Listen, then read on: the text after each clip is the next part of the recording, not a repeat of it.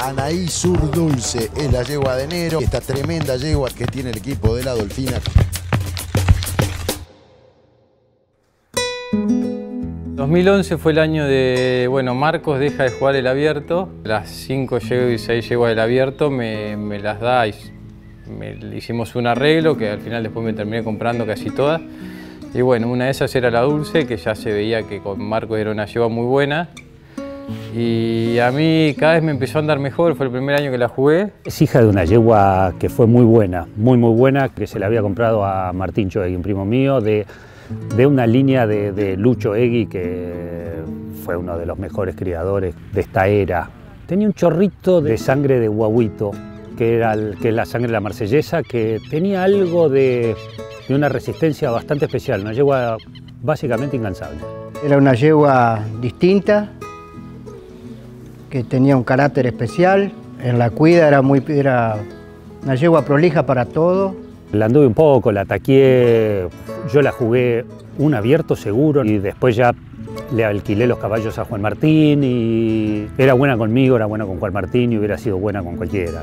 Que pasara a manos de Juan Martín fue una suerte para ella, sí, porque si hubiera quedado conmigo eh, ni se hubiera enterado nadie que era buena.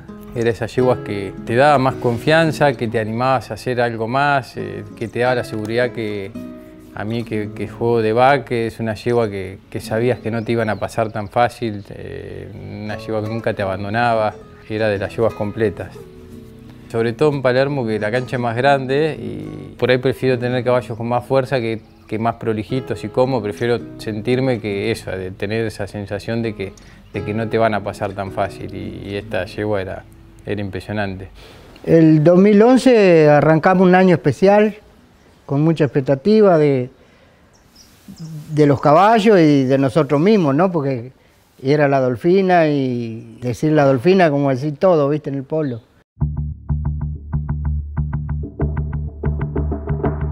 Fue ese año, el primer año de la dolfina, yo, por supuesto, sin tanta organización y tener la suerte de poder jugar la Pixie, la Flora, la Dulce, encarar el primer año de la Dolfina bastante bien organizado. Y aquí casi que quedaban dos contra uno. Sin embargo, ya llega la marca de enero, muy firme.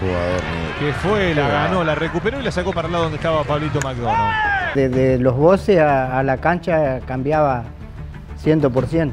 Acá era una petiza divina y en la cancha cambiaba el carácter, sabía que iba a jugar al polo cada minuto que iba jugando iba, parecía que era igual, que no, no, que no pasaban los minutos. La jugada que iba, jugada que ganaba. Era la yegua del partido.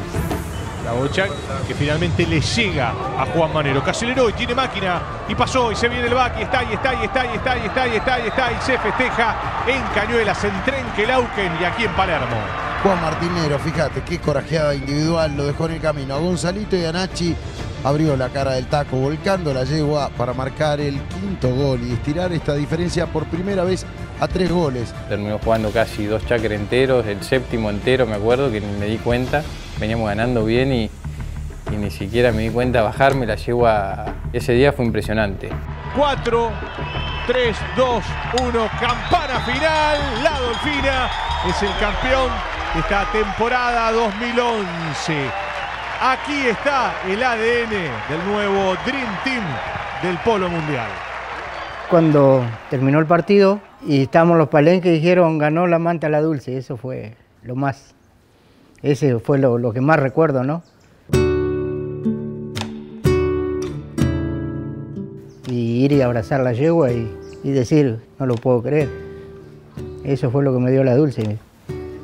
Mucha emoción. Marco, me acuerdo, por supuesto que vino a la, entrega, a, cuando nos dio la manta, vino él también y creo que para el criador es un... A mí nunca me pasó que una yegua de mi cría gane un premio tan importante y, creo que sería un logro eh, lindísimo. Seguramente estuvo más contento Marco que yo, no hay duda, porque, porque él fue el que, hizo todo el proceso de la yegua, la vio de que nació hasta que llegó a estar en una manta en la cancha 1 de Palermo. Cuando dejas de jugar, como criador te tenés que poner algunas metas ver que llegás a algunos lugares siempre es interesante, es interesante, te deja en carrera, te deja sabiendo que estás con un rumbo, pero que tener una manta no tiene que pasar de un festejito de tres minutos y tenés que seguir. Eh, con los caballos tenés que vivir aprendiendo y y no, no, no paras nunca de aprender y no paras nunca de mejorar y no, no paras. Si parás, te va mal. Por ahí ves alguna jugada y después mirándola decís, pucha, ahí ves lo- el, fruto de tu trabajo, ¿no? Y el caballo cuando anda y, la emoción y la alegría de poder llegar a cuidar ese caballo, ¿no? Anaí Sur Dulce es la yegua de enero. Esta tremenda yegua que tiene el equipo de la Dolfina.